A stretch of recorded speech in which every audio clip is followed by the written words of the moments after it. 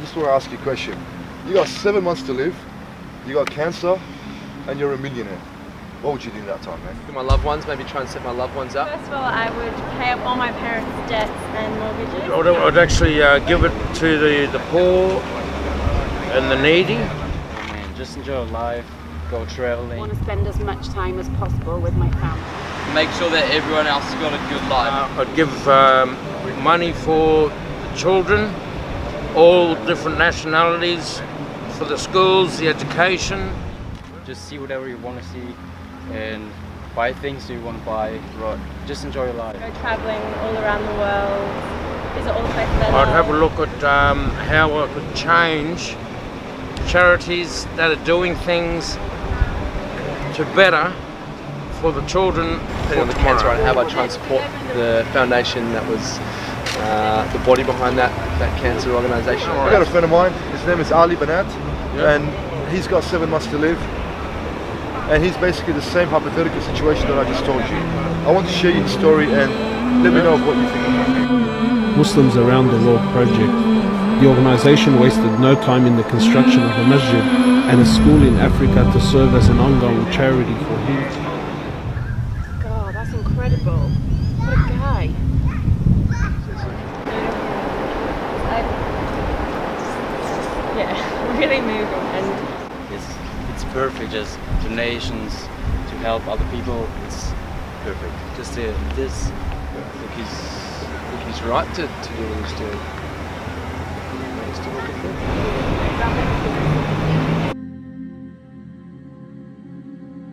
it's something just so human and intrinsically like invaluable with what he's doing.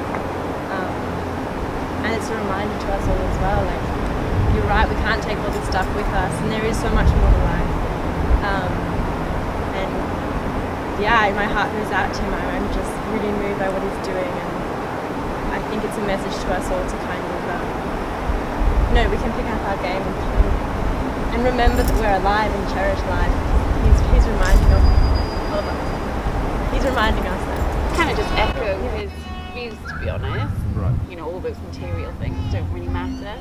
And so long as you're a good person, then that's what you take with you in the end. But It's pretty inspirational because I didn't expect him to be spending his last, what, seven months, like, giving to people. I thought he'd be going out and, like, cherishing and doing what he's never done before.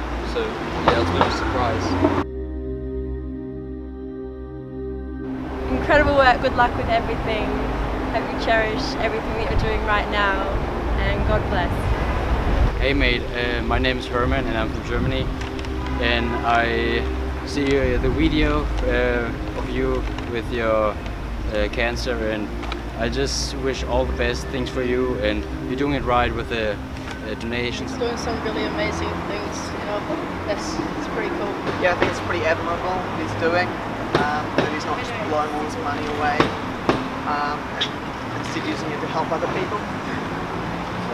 Well, Ali, I must say,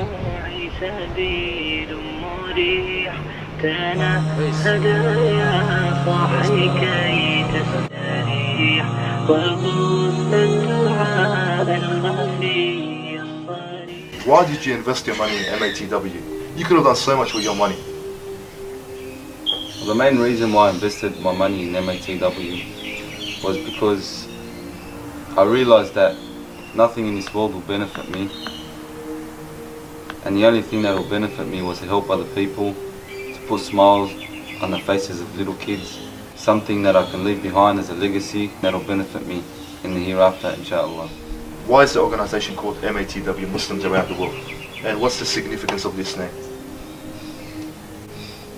Well, pretty much I was sitting down and um, thinking of a name to come up with, and I sort of got the first letter from a couple of individuals in my family and come up with MATW. For example, M stands for my sister Mariam, A is for Ali, and there's just a couple of different other names that I put this together. So. If you were to tell the audience what the project in brief is about, and what do you and how do you see the project, inshallah, in the future? What uh, what are your aspirations for this project? because it was such overwhelming response from the people, I decided instead of building separate things all over Africa to combine it into one project.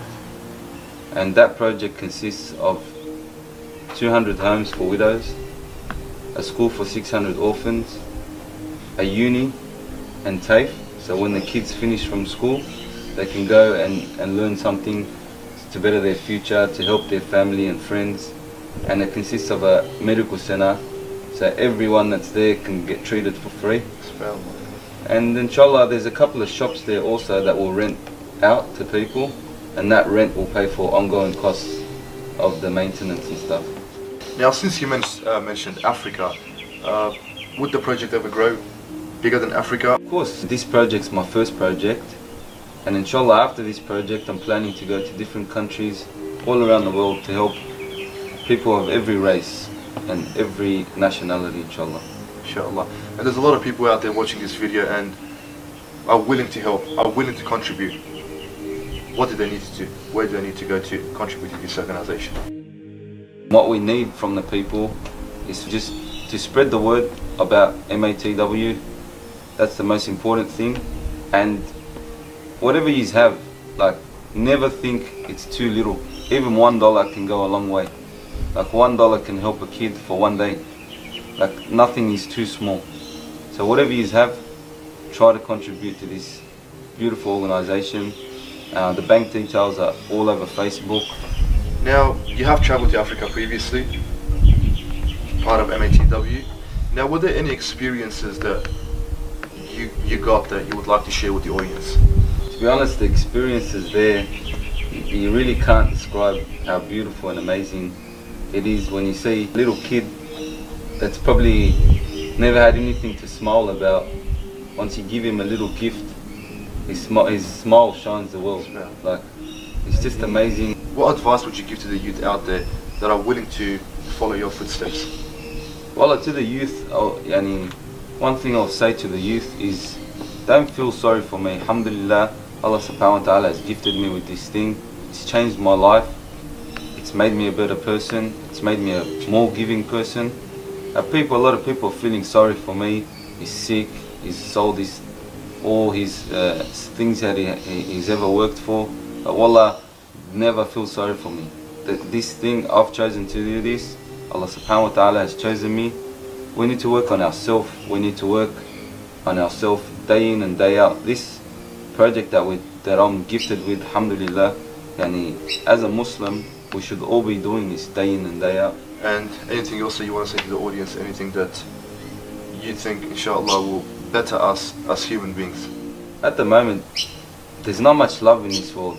Like, as you see all around the world, people are fighting people, people are killing people, and at the end of the day, these poor little kids just and growing up with no father, no mother, and it's our duty to, to sort of take care of these people.